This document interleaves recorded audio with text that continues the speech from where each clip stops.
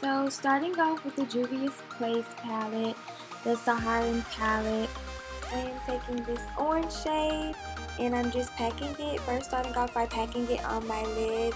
Today I am going to show you guys how to cut crease like a pro. And I'm just packing that shade on first and then I'm blending it upwards and outwards forming that shape, that cut crease shape already and then just blending it out really good. I did a poll on my Instagram asking you guys if you wanted to see a halo eye or cut crease tutorial next and it was a tie but the cut crease was winning the majority of the time so I decided to do this tutorial first. Also I really love Juvia's Place palettes. Their shadows are very blendable and pigmented. Also they are pretty affordable so Juvia's Place if you see this hit your girl up. I love y'all's product. I am going to start speeding this uh, up, but I just want to show you guys that I really am building that color, color up, packing it on, and really just blending it. So take your time, build the color up, and blend it out. Now I'm taking the ColourPop concealer. I really love this concealer for outlining my brows and cutting the crease. I feel like it's perfect. I'm using a flat brush and as you can see I'm just starting off by following my natural eye shape. I have hooded eyes and I also have small eyes. So um, usually I do have to go a little bit above my natural eye shape. You're going to see that a little later. But first I am just following my natural eye shape. And make sure you have a flat brush to do this. And I'm also pulling my eye outwards. I just feel like it helps me to see and get a full glimpse of what my cut crease is looking like. And I also fill in the cut crease as I go. I feel like that as well helps me get a good look of what the shape is going to be. So as I get towards the end of my eye I kind of make like a little dip. And so you're just going to start following your natural eye shape make a little dip kind of go downwards and then bring it back up and outwards as I'm doing. I hope that that makes sense. And I just want to say ignore the plainage on my nose.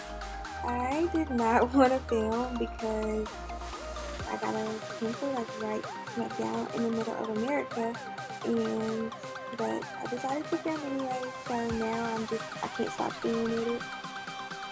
And here is where I am going to bring my cut crease a little higher up just because I do have hooded eyes. So when I do cut creases I normally do take them just a little bit higher than my natural cut crease just so when I open my eyes you are still able to see the full cut crease and here it is it is coming into place I love cut they are just so satisfying but don't get discouraged if you don't get it right the first or second time. You just have to keep practicing. Cut creases, they are pretty hard. And I had to start over on my other eye because I just didn't like how it turned out. So you just gotta keep practicing and then you'll definitely get the hang of it. I just think cut creases are like a mood. It's just a statement. It's like, hello, I'm here, cut crease queen. And here I am just setting that concealer even when you're doing a cut crease, you always have to set any concealer just so it's not creasing and then I'm taking another shade from the Juvia's Place palette and I am packing it on and as you can see it wasn't really giving me that much life so what I did was added the Fenty Beauty highlighter on top of it to really give me that shimmery gold champagne shade that I wanted. And I'm taking the Fenty Beauty highlighter and I can't remember if this is I forgot the name honestly but I will link it down below another pro tip that I forgot to mention earlier was anytime you're doing any shimmer anytime I'm doing any shimmer or eyeshadow and even with my um, highlight I always spray. Before I put on highlighter I do get a um, some type of spray like a setting spray just to wet my face and that way the highlight will show up so much more pigmented. And when using a shimmer eyeshadow that will also make the eyeshadow be so much more pigmented. Some good setting sprays would be like MAC Fix Plus Spray, Mario Badescu, I like Milani's um, face spray. Also, CoverGirl has a face spray. And here I'm just highlighting my nose, the inner corner of my eyes. I highlighted my brow bones already. And I did bronze a little bit. And taking that same shade on my lid and just smoking down my lower lash line.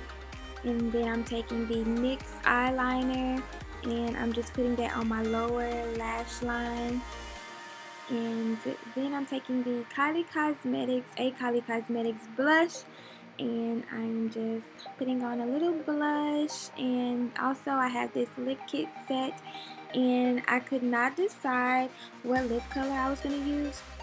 Comment below what lip color you would have wore. I decided to go with the middle one. It was called One Wish or One Angel or something like that. I will link it down below. It is a matte liquid lipstick, but like it doesn't, it's very comfortable. It doesn't dry your lips out. I am obsessed with this formula. I know it sounds kind of cliche, but I really felt like I had Kylie Jenner's lips.